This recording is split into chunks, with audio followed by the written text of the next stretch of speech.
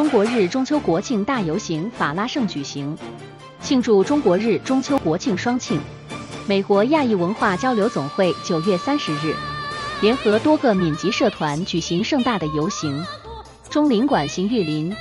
赵新兴领事和纽约的民选官员参加了这次活动。游行队伍在巨大中国国旗带领下，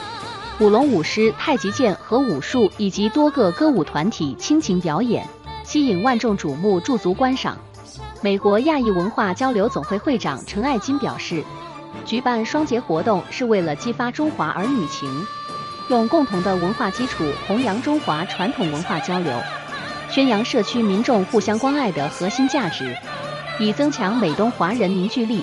中国驻纽约总领馆邢玉玲领事希望这个中国非物质文化舞龙舞狮和太极武术能在这里发扬光大，能够在纽约的五大道时报广场表演。